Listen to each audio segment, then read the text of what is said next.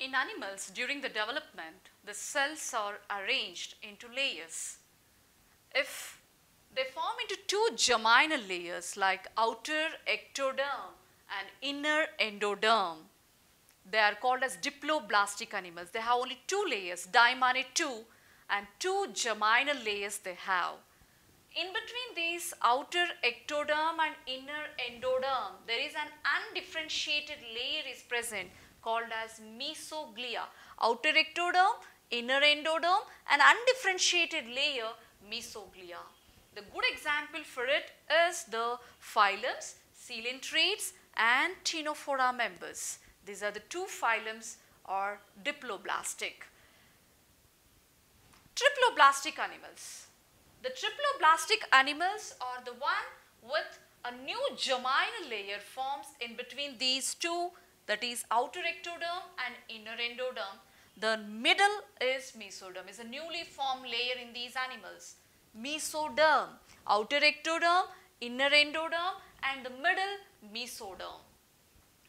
Mesoderm presence makes these organisms triploblastic, trimane 3. From the phylum Platyhelminthes to Chordata, those animals are called as triploblastic animals. Because of this mesoderm, the triploblastic animals are more complicated. So, mesoderm is responsible for complexity of organisms. Coelom, the body cavity. The presence or absence of body cavity is uh, very essential. It plays a key role in the classification of animals. What is this body cavity or coelom? A true coelom is a coelom formed within the mesoderm and is lined by the mesoderm. The animals in which the body cavity, you will get the doubt, ma'am actually what is a cavity, where it should be present?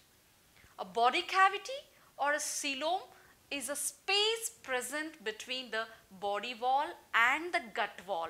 The cavity present between the body wall and the gut wall is called as a coelom.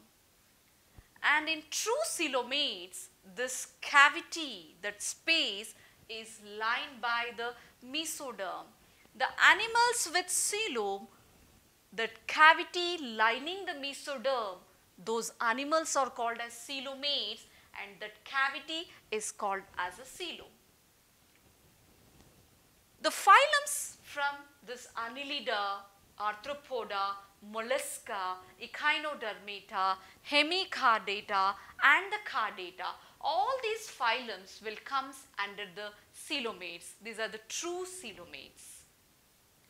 Moving on, the pseudocoelomates. Pseudomane false. The pseudomane false here it is. The false are coelom they have. What is this false coelom? In between the ectoderm and endoderm, the mesoderm is scattered in the form of pouches.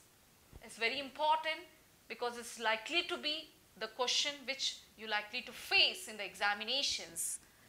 In pseudocoelomates, pseudo false, they have a cavity but it's not a true cavity.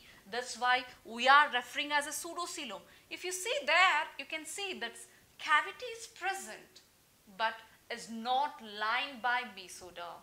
This cavity is present in between the ectoderm and endoderm. In that cavity, the mesoderm is present in the form of a scattered pouches. The good example who are the pseudocoelomates are Aschelminthes members are the pseudocoelomates. Acoelomates. A stands for absence.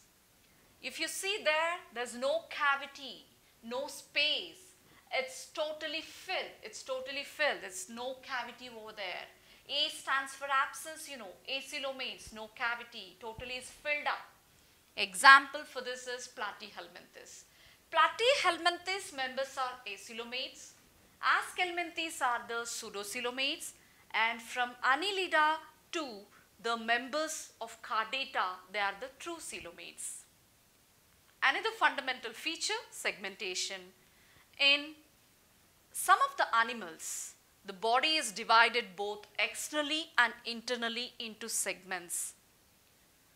Example like in earthworm, the body is divided externally by grooves and internally by septa. The picture clearly indicates the external segmentation and the internal segmentation. If at least some organs are repeated, that phenomenon will call it as metamerism and that is metameric segmentation. The body division externally and internally, at least some organs repetition will call it as metameric segmentation and the phenomenon is metamerism. The good example is on the board that is earthworm. Notochord, another fundamental feature helpful in the classification of animals. The notochord is a mesodermally derived rod-like structure present on the dorsal side of some animals. In some animals, during their embryonic development, a rod-like structure develops on the dorsal side is a structure which gives supports to the organisms. And the animals with notochord are referred as chordates. Animals without notochord are called as non-chordates. From the phylum Porifera to echinoderms, these are referred as non-chordates. Other than chordates, all are non-chordates. The one with notochord are chordates, the one without notochord are referred as non-chordates. It's a mesodermal derivative is one of the key feature in classification of animals. Classification of animals. Animals are classified based on the some fundamental features like levels of organization, symmetry, coeloms. So the different phyla of the kingdom Animalia are classified based on these fundamental features. Animals, all are multicellular, you know, that belongs to the kingdom Animalia or Metazoa. I stressed the point earlier, no animal is unicellular, all animals are multicellular, they are. And moving on to the other fundamental feature that is the levels of organization. If you consider the levels of organization, one is cellular that is very primitive level, other is the tissue, organ and organ system level of organization. In the animals with cellular level of organization and coming to their symmetry, they're asymmetrical, no symmetry. And coming to coelom, that is acoelomates cellular level of organization, asymmetrical, acoelomates belong to the phylum Porifera, the very primitive animals, the sponges. Moving on to the next, the tissue level of organization.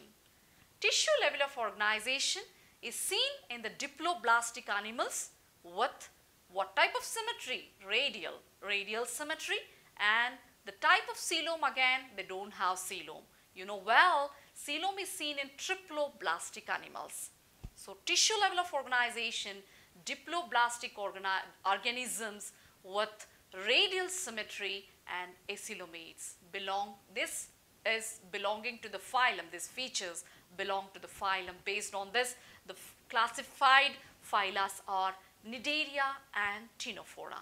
Organ level of organization. Organ level of organization triploblastic, acoelomates with bilateral symmetry.